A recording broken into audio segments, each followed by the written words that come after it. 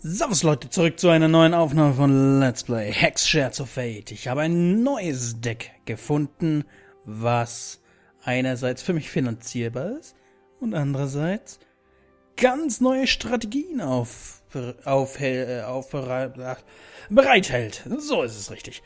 Mm, allerdings habe ich keinen Namen für das Deck. Ich habe, ihr findet den Link in der Beschreibung, habe dieses im, im Forum von Hex gefunden und ihr könnt euch dort nochmal die Originalideen anschauen.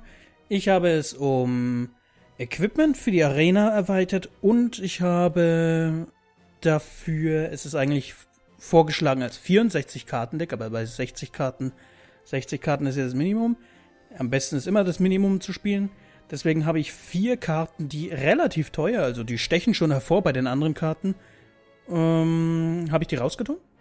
Und ja, Dafür halt Equipment rein. Hoffentlich läuft's trotzdem so gut. Diejenige oder derjenige, der das gepostet hat, hat gemeint, ja, das Deck hat beim ersten Versuch 19-1 geschafft, also ist einfach einmal durchgelaufen und einmal hat sie verloren oder der. Und naja, wir probieren jetzt einfach mal aus, ob es genauso läuft. Übrigens, falls ihr gerade Hex aktiv spielt, zurzeit ist der Goldpreis extrem, also der Goldwert extrem hoch. Heißt, ihr könnt jetzt farmen, farmen, farmen und gut Gewinn machen.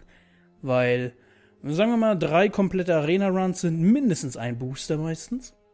Also könnt ihr das gegen einen Booster tauschen zurzeit. Weil die alternativen Artwork-Karten, die es im Shop gibt, bald rauskommen. Deswegen wollen sie alle noch schnell kaufen für Gold. Und ja, bald wird da was Neues kommen. Deswegen horten sie jetzt Gold. Sie brauchen alle Gold. Gut. Ich habe es jetzt einfach mal lila-blau 5-Dollar-Deck genannt. Es heißt auch 5-Dollar-Deck und es besteht aus Blatt und, und Sapphire Shares. Also lila und blau. Suchen wir unser Glück. Help ist Bunoshi de Ruslev. Was er kann, werden wir gleich sehen. Wir machen wieder mal, wie beim ersten Mal bei einem neuen Deck, einen ganz normalen kompletten Run und schauen einfach, was dieses Deck kann. Ich bin selbst gespannt, ich probiere es zum ersten Mal. Lasst uns loslegen. Gegen den Dragon Guard Starwalker. Also ein bisschen Leben gewinnen. Hm, na gut.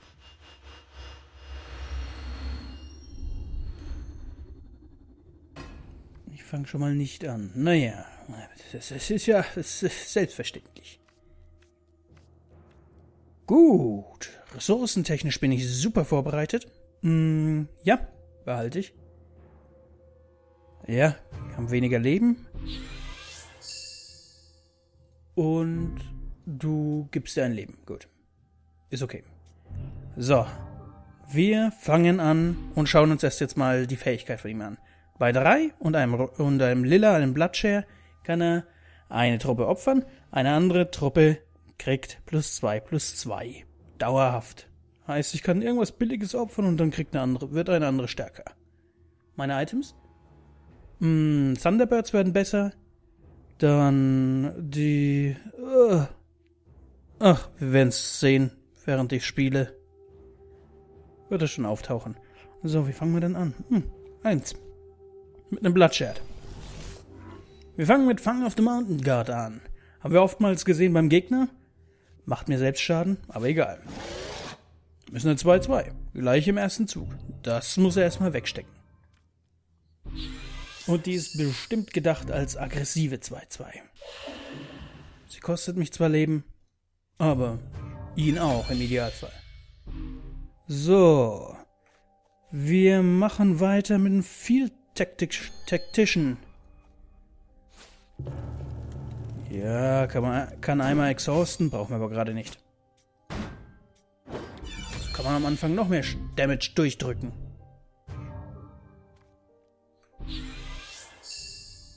Kostet auch nichts. Ja, zum Beispiel gegen den. Wobei, gegen den habe ich eine andere Lösung. Andererseits, ich habe das Item angewendet, dass das eine Quick Troop ist. Also ich könnte sie als Überraschung spielen. Wollen wir aber nicht. So, ich habe einen Schaden bekommen. Das ist uncool. So, okay. Ich spiele einen Bukanier. Dann darf die Karte sofort wieder auf die Hand zurück. Und ich kann meinem Freund schön Schaden schießen.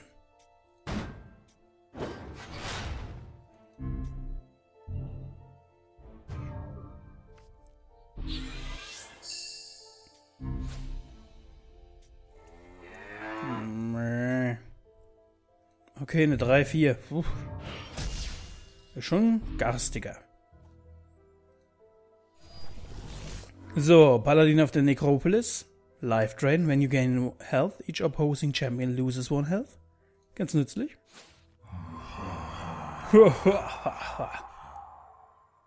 Oh ja, der ist wirklich sehr nützlich. So, dann nutzen wir mal die Fähigkeit und exhausten diese Kreatur und greifen für 6 Schaden an.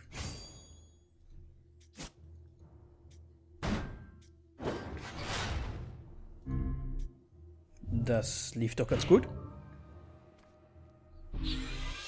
Und jetzt ähm, ein anderer Paladin, okay. Mm, noch ein Paladin auf Necropolis. Jetzt muss ich bloß irgendwie Leben gewinnen.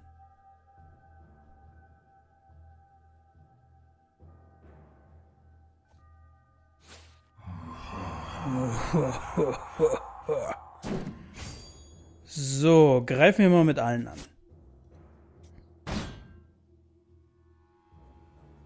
Oh, ich merke gerade, das kann ich ja gar nicht als Quick Action nutzen.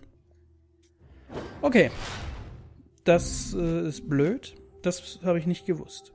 Beziehungsweise nicht bedacht. Nee, nicht gewusst, passt schon. Habe ich nie so genutzt. Warum sind die alle stärker, verflucht?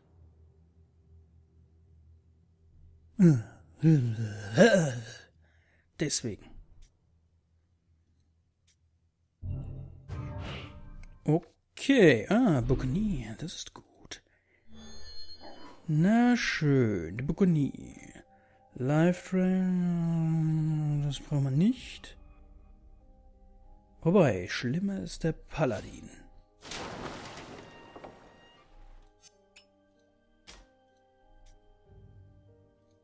So, und dich opfer ich mal. Und mach dich stärker. Mhm, mhm. Mhm. Okay.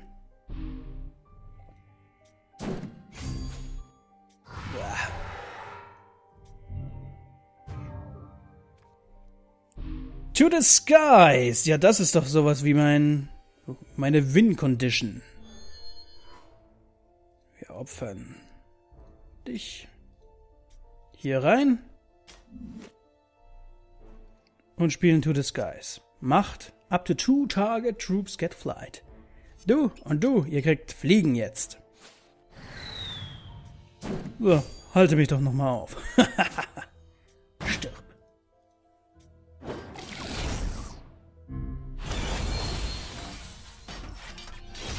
Das war gut, dass diese Karte jetzt kam. Uh, die hat mich gerade gerettet. Sonst wäre das äh, ziemlich äh, kurios geworden. Ich hätte dann wahrscheinlich die eine ganz groß machen wollen, mit so Opfern und so. Aber viel gebracht hätte es nicht.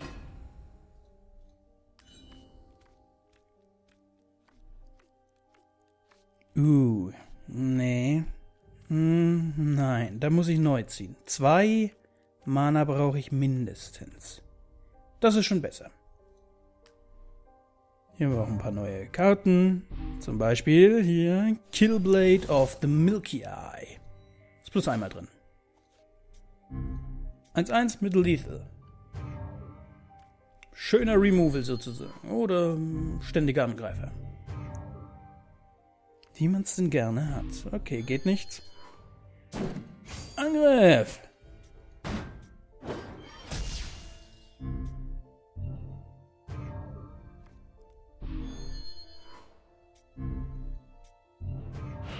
Mein Gegner spielt immer noch nicht so. Uh, Thunderbird. Das ist ja. Das wäre auch ganz schön. Aber ich. Wobei. Hm. Er kommt doch. Ist zwar nicht Mana-effizient, aber es ist gut. Den möglichst früh draußen zu haben, weil ich habe ja schon beim letzten Mal bei meinem eigens konstruierten Fliegerdeck, was ich da gebastelt hatte, Okay. ja, dadurch ist die Karte tot, könnte man sagen. Ich kann sie nicht mehr nutzen. Kann man sie opfern. Ähm, okay, ja, der ist unwichtig. Ähm, ja. Genau, wie in meinem Fliegerdeck schon, dachte ich mir eigentlich, der Thunderbird allein kann schon Spiele gewinnen. Hier haben wir die Giant Corpse Line. Target Champion discards a card at random. Das bewirkt eines der Items. Normalerweise muss er eine abwerfen und so wirft er eine at random ab. Hat den Vorteil, dass er nicht auswählen kann, was er abwirft. Das machen wir auch. Husch. Äh, muss ich ihn auswählen? Okay. Dann schauen wir mal, was er abwirft. Ein Oracle Song. Schön. Kann ich mitleben. So, du wirst geopfert hier rein. Der Thunderbird schwingt für vier.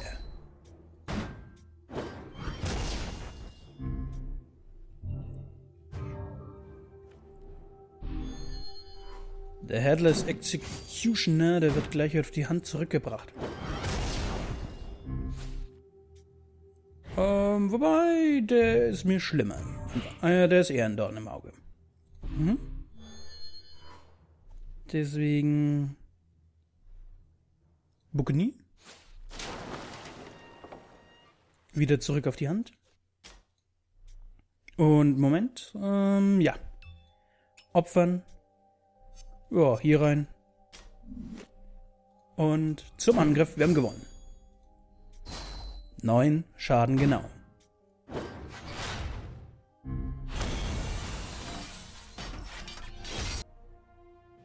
Hm, eine Ressource. Okay, das ist schön. Hm, eine Ressource. Wisst ihr, wen ich übrigens vermisse bei den Bossen? Ich habe es nämlich in dem Bild gesehen von deren Deck. Da hat sie ein Beispielbild, halt, wie sie 1901 die Arena geschafft hat, gepostet. Die hat dagegen den Sensei gespielt, diesen Shinare Sensei. Den hatte ich, glaube ich, schon ewig nicht mehr.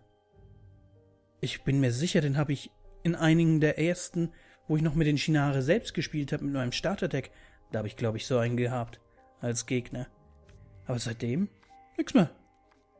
Oh, wunderschöner. Oh, Air Superiority. Troops in Control für Flight have plus 1 plus 1. Sehr gut. Hm, gegen den Spambot. Das könnte zu schlecht sein also der Spambot wird wahrscheinlich zu schlecht sein, um mich aufzuhalten. Um das spielen zu können, muss ich zweimal Saphir als erstes spielen. Dann kann ich den Thunderbird relativ schnell ausspielen. Hm, der Spambot hat nichts. Gut. So liebe ich's. Ach ja, wir kriegen ja einen Charge, wenn er ins Spiel kommt. Auch äh, ein Effekt, glaube ich. Oder war das ein Effekt? Nein. Doch. Äh, Gainer Charge, ja. Effekt eines Equipments. Workerboard. Eine Defensive. Ja klar. Kannst du machen. Machen wir mal. Jetzt sich glücklich macht.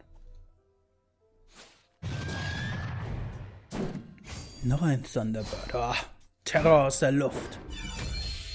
So sollte eigentlich das letzte Deck laufen mit Thunderbirds den Gegner vernichten. Der Spambot macht es mir da hingehend ziemlich leicht. Air Superiority. Und zum Angriff für sieben.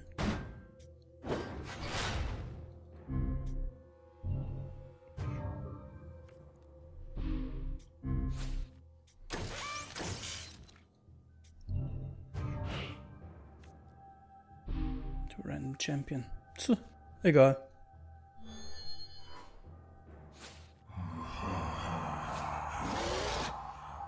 Hm, ja, wir haben sowieso gewonnen. War gar nicht nötig, irgendwas auszuspielen.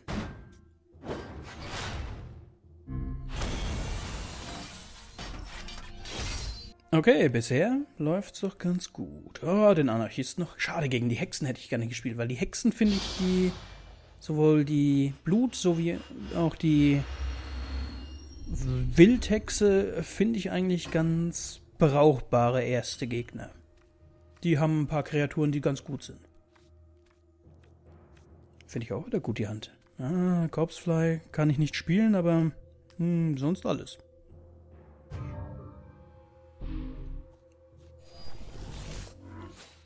Übrigens, für den gibt es auch noch ein Equipment, was bewirkt, wenn wir, also der Held, also wir selbst, 10 oder weniger Leben haben, kriegt er plus 2 plus 2 dauerhaft. Also ist dann 4-4. Habe ich mir überlegt. Ist aber dann draufgegangen für das Item für den da, dass ich eine Karte ziehe, wenn er stirbt.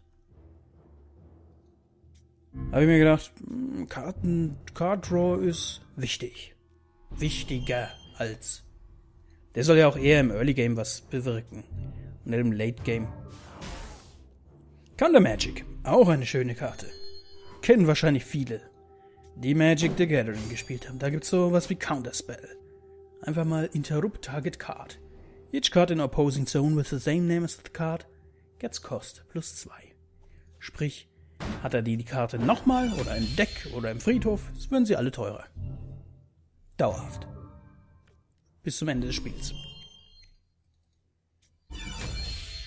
Ein Arena Brawler. Den kannst du doch nächste Runde nochmal spielen, nicht wahr? ah, auch interessant. Habe ich mir auch geholt. Shard of Cunning. Dreimal. Gain. Da kann ich auswählen, ob Blut oder Saphir. Und ich krieg einen Charge. Aber dafür keine Ladung. Also für die Ressourcen. Können wir jetzt gerade nicht gebrauchen, weil ich will einen Bukanier spielen. Damit der Arena Brawler erstmal wieder auf die Ersatzbank zurückgeht. Hm. Nein. Ich habe mir gerade überlegt, den Bukanier gleich reinzuopfern, um extra Schaden zu machen, aber nicht notwendig. Lieber einem Flieger den extra Schaden geben, würde ich mal sagen. Uh, den spielst du wieder aus? Du musst verzweifelt sein oder nichts Gescheites auf der Hand haben. Am besten beides. So, Scherz of Cunning. Ich nehme Blut. Krieg keine weitere Ressource. Äh, und spiele nochmal den Bukanier. Wenn er ihn für 3 ausgespielt hat, wird er ihn vielleicht auch für 4 nochmal ausspielen. Das wäre mir ganz recht. Ähm, es lohnt sich nicht zu opfern. Weiterhin. Es würde nichts bewirken, also es würde nicht den Sieg deuten sofort.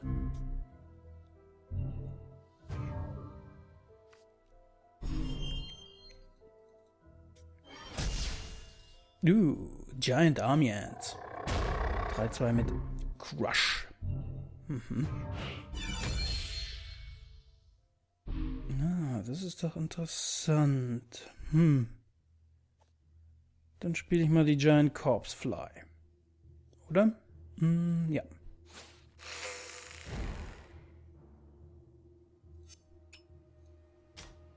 Das sollten sie automatisch machen, also wenn es bloß bei äh, Target Champion. Okay, nicht Opponent.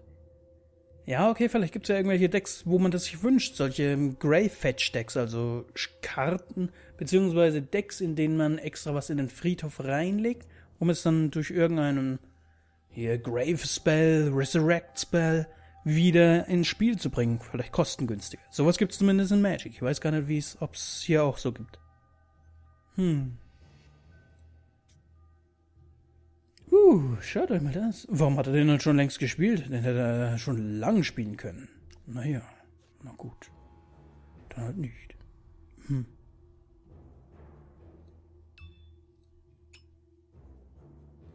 Die wird geopfert. Hier rein.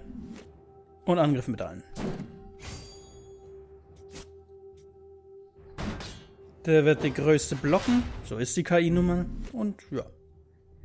Dadurch seine verlieren.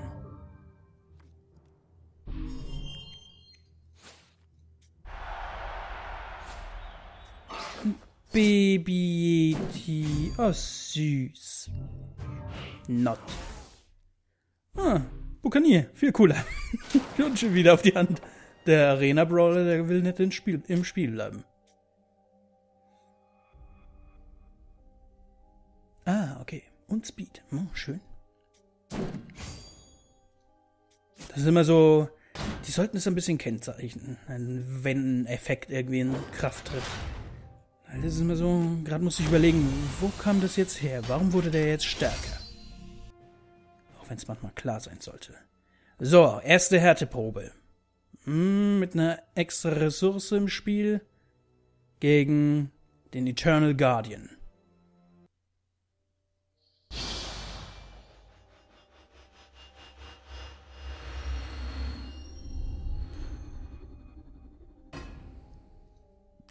Jawohl, Anfang ist immer gut. Hm, oh je, was denn das für ein Schrotthand?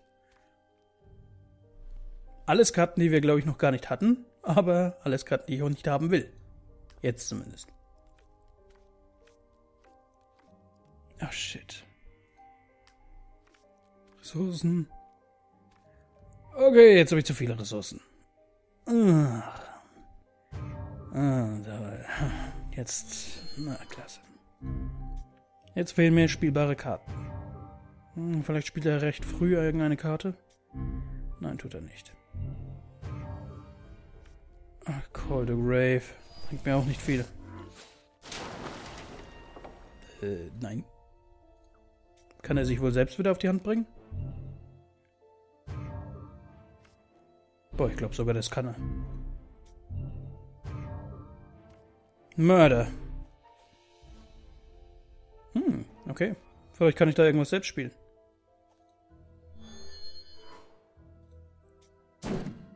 Aber das sieht ganz schlecht aus. Uh, ich habe nichts, gar nichts.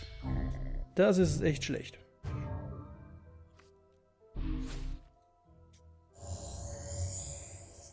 Mhm.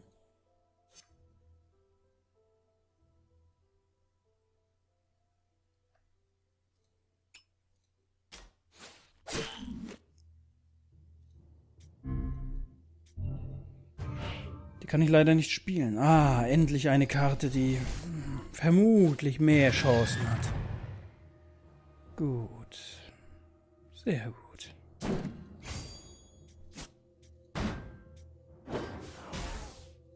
Der Thunderbird kann das Spiel gewinnen. Allerdings, der Eternal Guardian hat auch Flieger. Zum Beispiel. Mhm. Ja, das hört gar nicht auf. Ähm.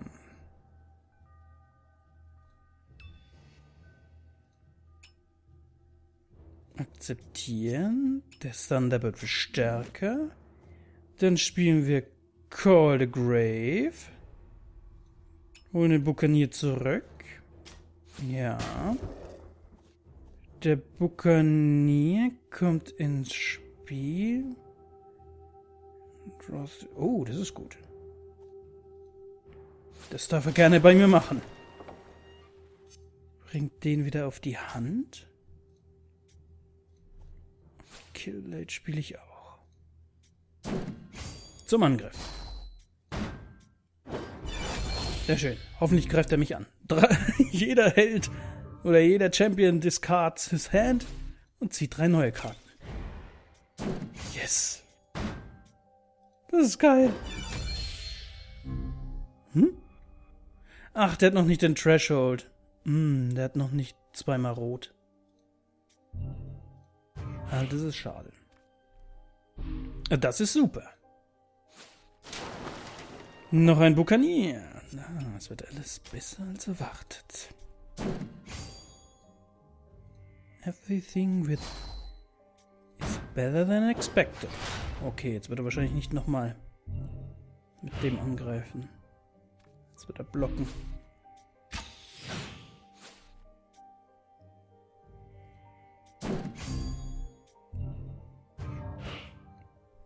Hm? Oh. Der hat ein bisschen Leben bekommen. Nervig.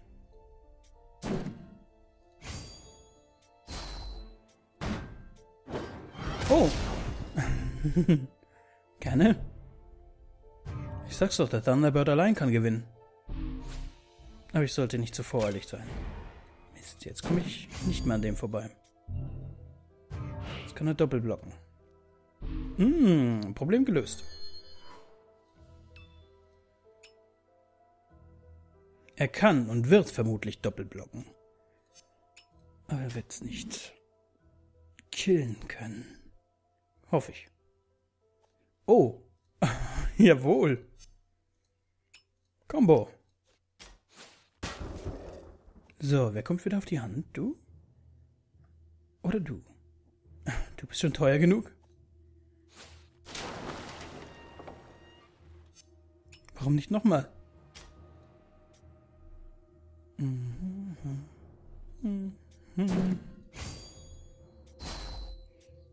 Gut. Der ist auch wieder weg. So, mein Freund. Ja, noch ein Flieger.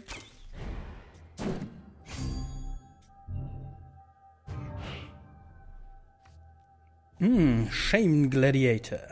Ey, oh shit. Der sollte eigentlich einen Sockel drin haben.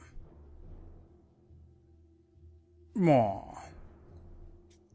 Naja. Greifen wir mal äh, mit den beiden an. Uh. Ich darf mir auswählen, welchen er tötet.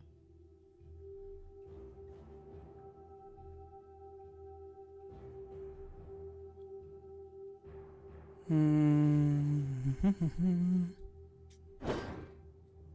möchte ich lieber den Archon tot sehen.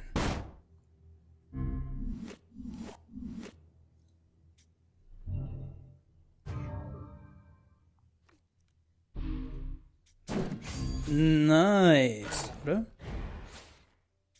Ah, nein, das ist kein Flieger. Aber das ist ein Flieger. Ach, verflucht. Aber zum Glück ist es ein zu kleiner Flieger. Darkspire Priestess. Gerne gesehen.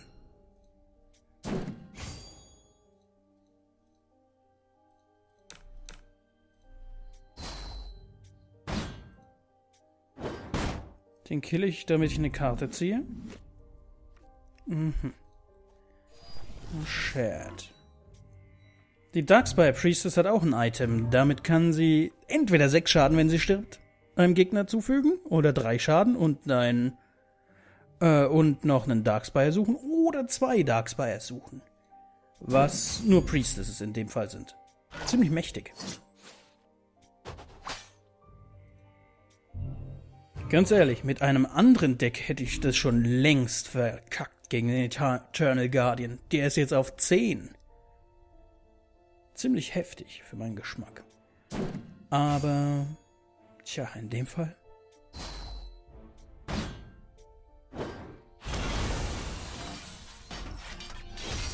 In dem Fall hat's wunderbar geklappt. Ja, bisher macht das Deck Spaß, muss ich zugeben. Es hat ein paar nette Tricks drauf. Mal schauen, wie es sich aber bei den höheren Tiers dann bewährt. Jetzt war es nämlich ein bisschen langsam, besonders beim Eternal Guardian. Wobei man muss sagen, ich bin auf fünf Karten runter und äh, ich hatte nur einen Bukanier auf der Hand prinzipiell. Mehr nicht. Hm, von daher habe ich mich noch ganz wacker geschlagen gegen den Eternal Guardian. Mal schauen, wie es weiterläuft. Vielen Dank fürs Zusehen. Beim nächsten Mal schauen wir einfach weiter. Ciao.